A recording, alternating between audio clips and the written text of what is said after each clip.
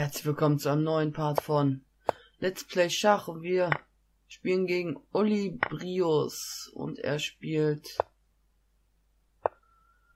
äh, wie heißt das denn nochmal? Hm, Orang-Utan oder so?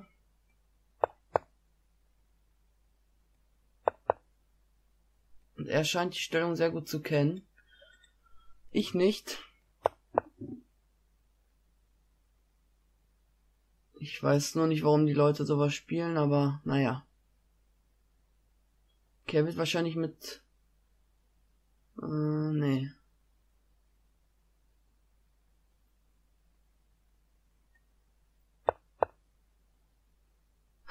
pre-moved einfach, also... Natürlich. Let's trade. Ein bisschen abtauschen.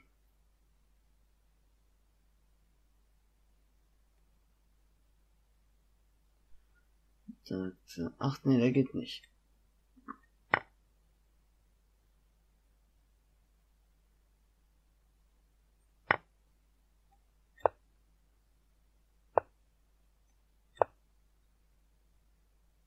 Einfach mal nach G6 stellen.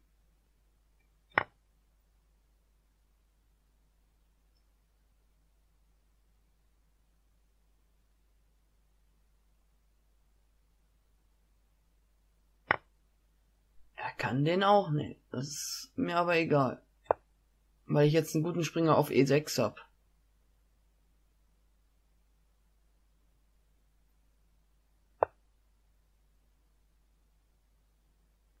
A4, was ist das für ein Zug?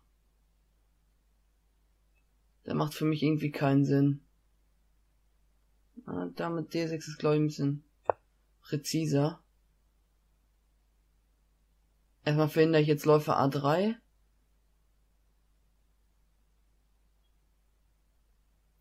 Ja, und zum, zum anderen entwickle ich mich weiter.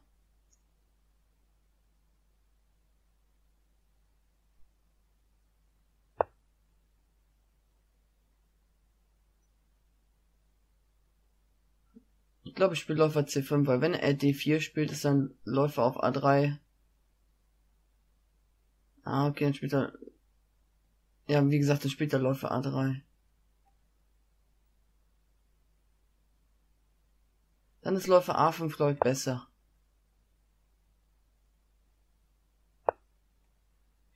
Jetzt hängt A4 und C3.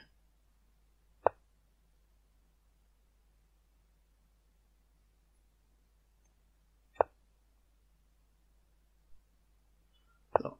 B7 decken. Und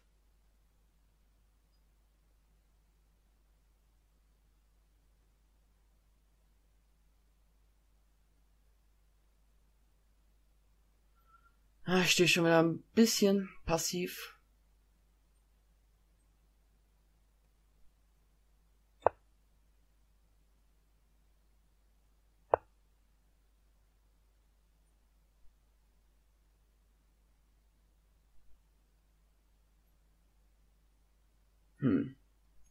Hm. Okay, wenn ich nehme, Dame nimmt. Ähm, Turm D8, Turm D1. Ich werde einfach so Turm D8 spielen.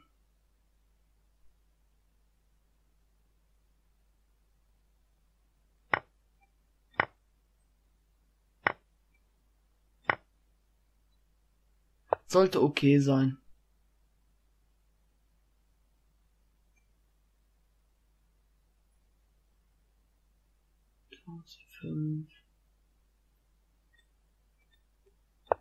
Ich weiß halt nicht, ob ich den Springer abtauschen will oder nicht. Er muss nur ja nehmen, weil A4 und D3 hängt.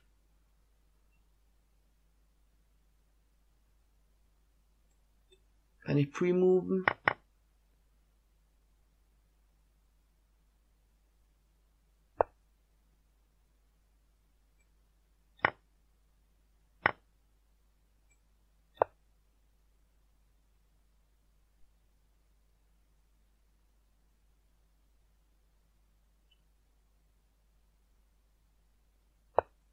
Ah, sehr.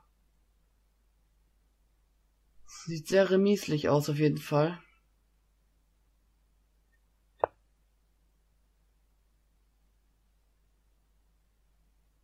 Ich lasse meine Königsbauern erstmal noch da stehen. Man weiß ja nie, was man noch machen will damit. Das ist sehr interessant, dass er so spielt.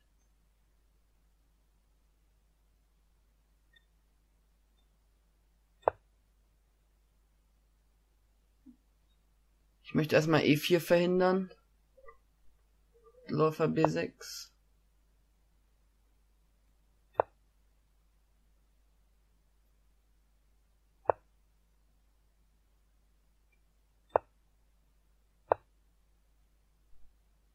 Oh.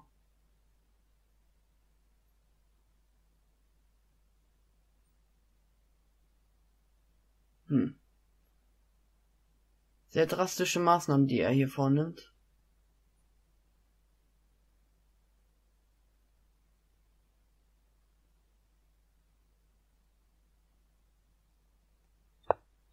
Dann lass uns mal C5 spielen.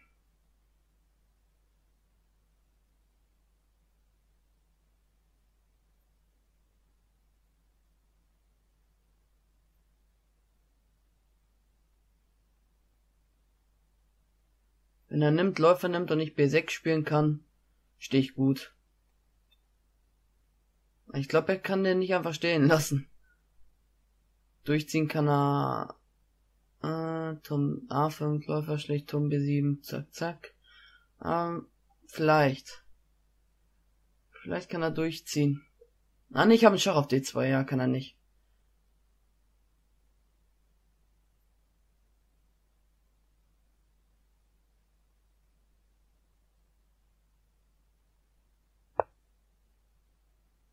A5. C5, Turm D2, König F3. Okay, muss ich nehmen. Strich C5. Turm D2. Ach so. Was, wenn ich einfach Turm C7 spiele?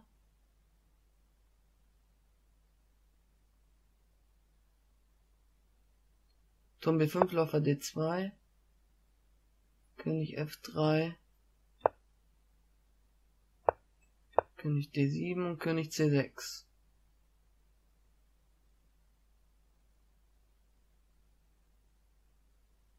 Und dann drohe ich auch Turm E7. Läufer, e, okay, dann hängt der Turm. Läufer E4 kann er nicht spielen.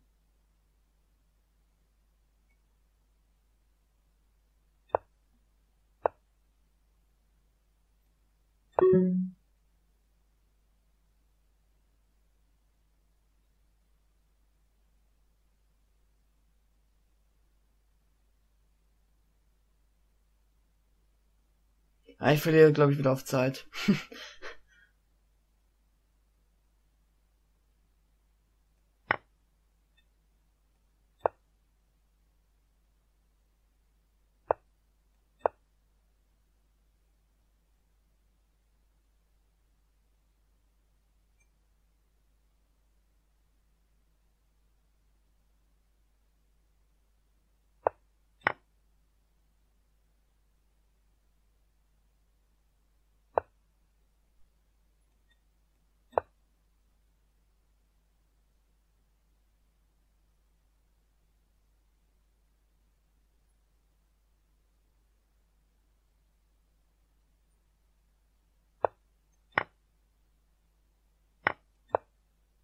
Ah, ich habe es nicht optimal gespielt.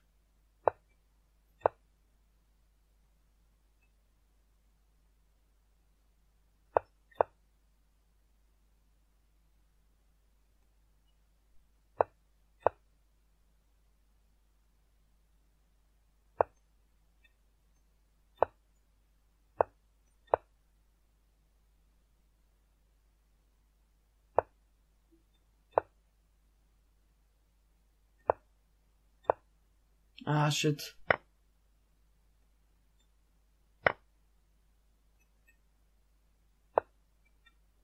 Nein, zieh. Oh. oh, was war das denn? War ich ja total kaputt. Oh, wow. Okay, dann muss ich mal eben kurz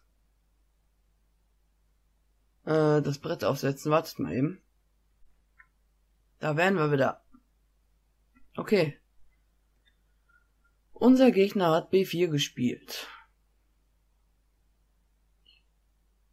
Also in der Lichess ähm, Notation steht Polisch. Ich glaube, es ist Orang-Utan. Okay, Turm E8 ist noch nochmal, ja, das... Ja, hier wusste ich nicht mehr genau. Läufer G4 sieht natürlich nach dem normalsten Zug der Welt aus, aber... Hm, naja, ich wusste nicht. Ah, deswegen hat auch die 3 gepremoved, weil das ist der Zug hier. Da haben E7, Springer D2, Turm D8, Turm B1, B6. Ah, okay, hier, ab hier kann man nicht mehr wirklich was nehmen, also bis hierhin. Da muss man sich halt einen Plan machen. Okay, ich spiele Springer E4. Kann man machen, muss man aber nicht. Ja, und jetzt wieder zurückgehen wäre schwachsinnig, deswegen habe ich dann mal was abgetauscht. H3, Läufer H5. Aber wahrscheinlich war, ja, Läufer E6 war besser. Oder Läufer F5. Läufer F5 ist noch besser.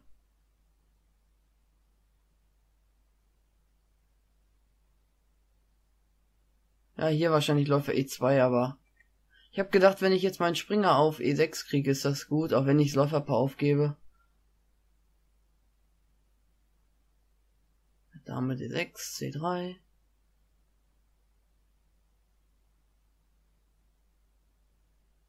Ach, C5 wäre auch eine Möglichkeit gewesen hier. Das stimmt.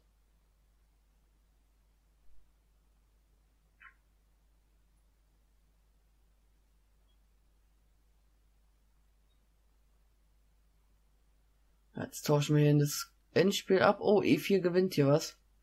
Oder habe ich was übersehen? Das stimmt natürlich. Ganz simpel sogar. Okay, Springer C5 war ein Blunder.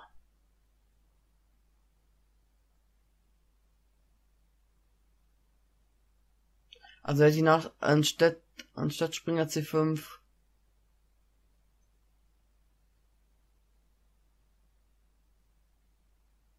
Ich hätte auch F5 spielen können.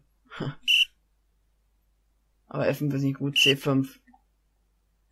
Aber, ah, das schwächt irgendwie. Glaube ich jetzt wahrscheinlich, ach, geht auch nicht.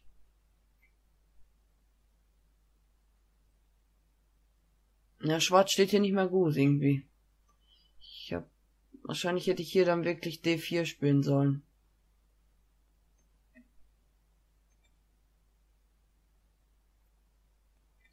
Wäre besser gewesen.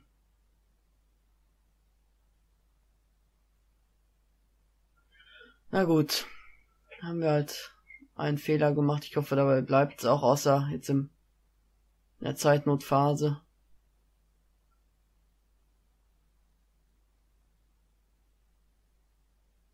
A5 war irgendwie eine gute Ressource, irgendwie.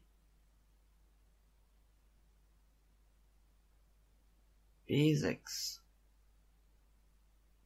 Ja, mein Bauernopfer B6 wäre auch nicht schlecht gewesen.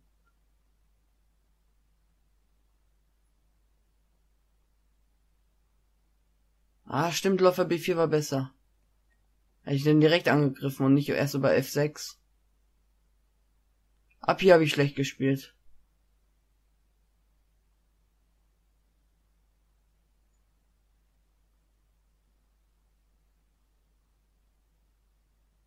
Er steht totaler Verlust. Turm D7 habe ich gesehen, aber hat er nicht gemacht. Mit A5 kann ich vielleicht noch was retten, aber so. Ja, okay. Ja, und hier stehe ich auf Verlust. Also das war eine grauenhafte Partie. Guckt euch ja nichts davon ab. Aber was man hieraus lernen kann, ist, dass Orang-Utan einfach schlecht ist. Weil hätte ich jetzt die Theorie gespielt und na, natürlich im Blitzen kann man das natürlich, aber diese Stellung. Also ich sehe nicht, Weiß hat zwar jetzt zwei Zentrumsbauern, aber Schwarz sollte eigentlich keine Probleme haben. Okay, ich bedanke mich fürs Zusehen. Ich hoffe, es hat dir gefallen und freue mich, wenn ihr beim nächsten Mal wieder dabei seid. Bis zum nächsten Mal. Haut rein. Ciao.